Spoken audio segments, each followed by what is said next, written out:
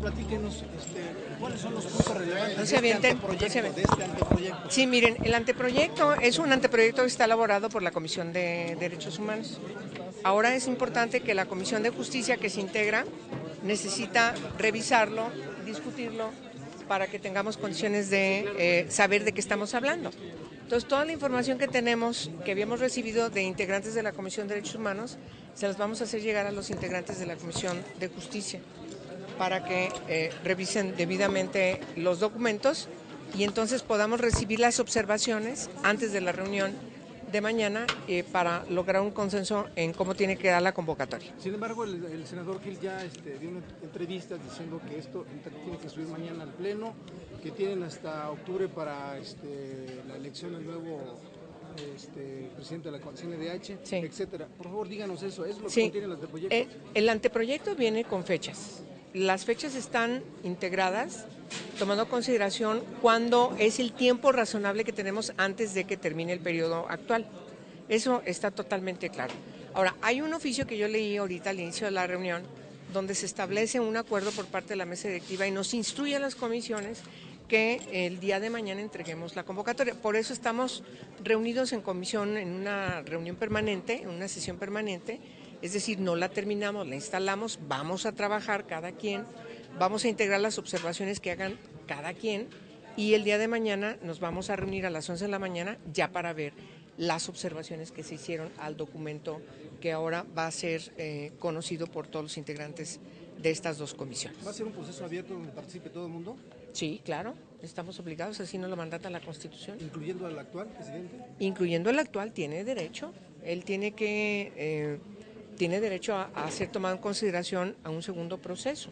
Entonces, lo que tenemos que garantizar es, de manera oficial, informarle que eh, el proceso se abre y que es necesario que nos diga, también de manera oficial y formal, si él aspira o no a ser tomado en consideración para un segundo periodo. Nos lo tiene que informar de manera oficial. Senadora, eh, los, los legisladores hablaban de documentos.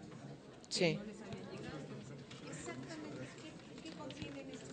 No, bueno, los documentos son tres propuestas concretas que hicieron tres senadoras que están incorporadas en el documento. ¿Quieren conocerlos? Se los hacemos llegar. Los compañeros de la comisión eh, ya son observaciones que están integradas en el documento, por ejemplo, ampliar los requisitos, establecer eh, que, cómo tienen que ser publicados, eh, los procesos de convocatoria, qué, qué es lo que tiene que contener eh, cada propuesta, son enriquecimientos a la convocatoria. ¿Qué senadoras son?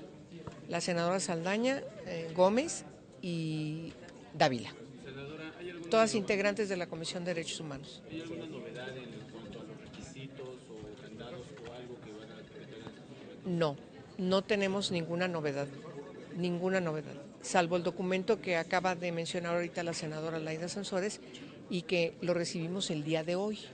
Entonces, por eso es que no teníamos posibilidades de incorporarlo, pero lo vamos a, discutir. Ese y todos los demás. Senador, ¿cuáles son los eh, perfiles que ustedes van a buscar para nuevo? Mire, los perfiles están debidamente inscritos en la Constitución y en la propia ley. Yo simplemente abonaría a la especialización, conocimiento, profesionalismo en materia de derechos humanos. Eso quiere decir que puede ser muy una persona muy experta y docta en otra materia, pero no es derechos humanos, entonces no es eh, un requisito que está cumpliendo. Fundamentalmente, eh, creo que es indispensable tomar consideración de esa expertise. El proyecto que se presenta hoy contempla un proceso diferenciado para la elección y para una posible reelección del ombudsman. ¿o es La única, la única diferencia es que quien está ahora fungiendo como presidente de la comisión ya cumplió estos requisitos, porque ya fue tomado en consideración hace cinco años y hoy está siendo presidente. Él ya cumplió esa parte. ¿Qué es lo que él tiene que, mm, de lo que él goza igual que todos los demás? Es la comparecencia, que tiene que ser exactamente igual. Es decir, no tiene más tiempo, no tiene menos tiempo, sino que es el mismo tiempo que gozarán todos los demás integrantes, todos los demás aspirantes. ¿Cómo?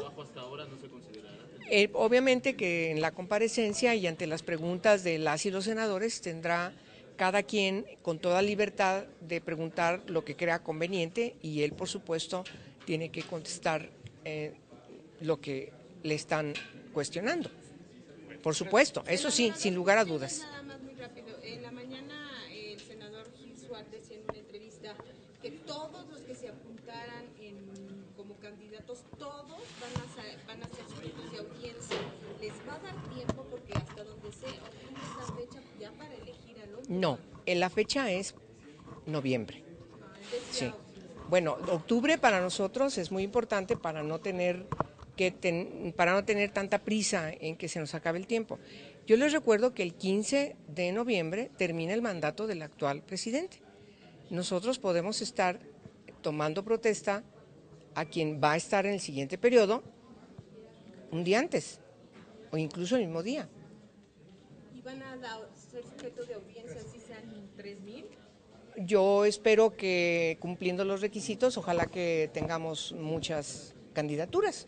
Siempre habrá un parámetro que es el de que cumplan con todos los requisitos que estamos estableciendo.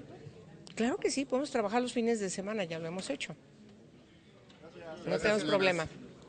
Gracias.